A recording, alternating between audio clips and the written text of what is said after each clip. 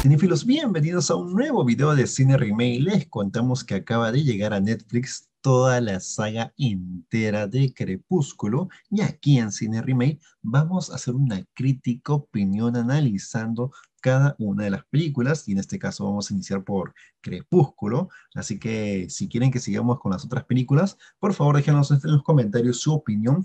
Además les quiero comentar de que tenemos un grupo, una comunidad súper exclusiva en WhatsApp de Cine Remake, así que si se quieren unir, el link está en la descripción del video. Ahora sí, Comencemos. Si bien la saga Crepúsculo ha sido amada por muchos, ¿por qué otros la llegan a odiar? Ya ha pasado una década y ese odio se ha solidificado. Hoy la recordamos poco más como que una vergüenza del cine o también como estos placeres culpables. Y es que criticar la historia creada por Stephen Meyer era motivo de orgullo, sentirse superior a algo que millones de personas en todo el mundo estaban adorando, cual religión monoteísta, por así decirlo, ya sea de una perspectiva feminista o desde el lado del friquismo culto, ¿no? La saga vampírica en su momento se llevó buenas críticas. Obviamente desde acá, desde Cine Remake, no quiero decir que la película Crepúsculo, ni su versión literaria, ni cinematográfica sea una obra maestra, pero quizás ahora que ha pasado tanto tiempo, quizás podamos analizar el fenómeno sin la histeria del fandom o el rechazo visceral de los haters.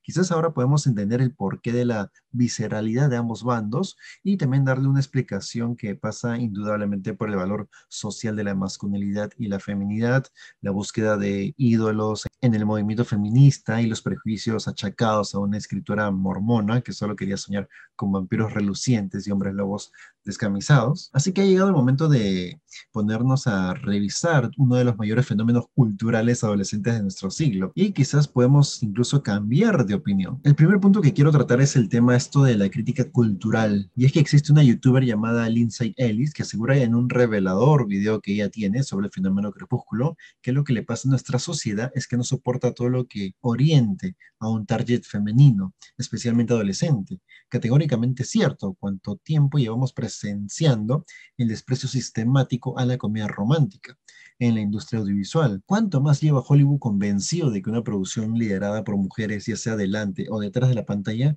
no tiene ninguna oportunidad de triunfar con un público heterógeno o masivo? Es por eso que yo siento de que ha habido durante mucho tiempo un odio intrínseco respecto a todo aquello lo relacionado con una feminidad canónica, por así decirlo, algo que por parte de muchas mujeres es una reacción de un producto de la, de, la, desigualdad social. En un mundo perfecto podríamos abrazar este romanticismo sin culpabilidad y al día siguiente sacar nuestra entrada para Wonder Woman 2. Sin embargo, es comprensible de que en un mundo necesitado de modelos de conducta femeninos en el cine, como era aquella primera década de los años 2000, se critique duramente desde el feminismo la aparente inactividad de Bella y las toxicidades de una relación como la que mantiene con su novio. Hay que recordar que en el año 2012 la guionista de la saga Melissa Rosenberg, que después se convirtió en showrunner de la serie Jessica Jones para Netflix, se mostraba en aquella época muy asombrada por el desprecio hacia la saga, ya que toda esa reflexión sobre el rechazo a lo femenino nos lleva a analizar un personaje como Bella Swan,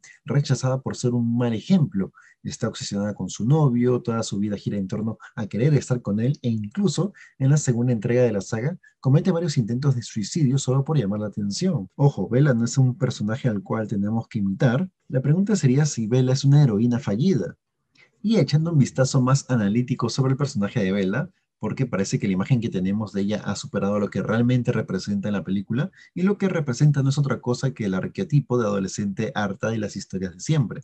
Si nos damos cuenta, toda la historia del personaje, extraña, perturbadora, intensa, única, Bella va moviendo los hilos para que los demás tengan su historia de amor, le dice a Mike que invita a Jessica al baile de fin de curso, anima a Angela que sea ella con quien se lo pida a Eric, que es el chico que le gusta, y ella llega al final después de haber vivido su propia historia mirando desde la distancia cómo bailan y posan para las fotos de anuario. Entonces vive en esa película secundaria de forma externa porque ya no encaja en las historias de siempre. Necesita su propio romance que tiene que ser tan raro como lo es ella misma. No hay duda que esta es su fantasía, algo que nos confirma su voz en off introspectiva y que continúa con la construcción de Edward Cullen. Desde el primer momento que este aparece en pantalla tenemos claro que es una proyección porque en contra de lo que muchos dijeron en su momento, Bella es dueña de este relato. Además, conectó con toda una generación de jóvenes porque apelaba a una sensibilidad diferente, esa que se siente alienada de las personas de su misma edad y que arriesgaría su vida por esa persona con la que por fin ha logrado conectar. Es por eso que Crepúsculo es una completa ensoñación de un adolescente que quiere sentirse diferente y que al mismo tiempo quiere ser tan cursi romanticona como todas esas historias antiguas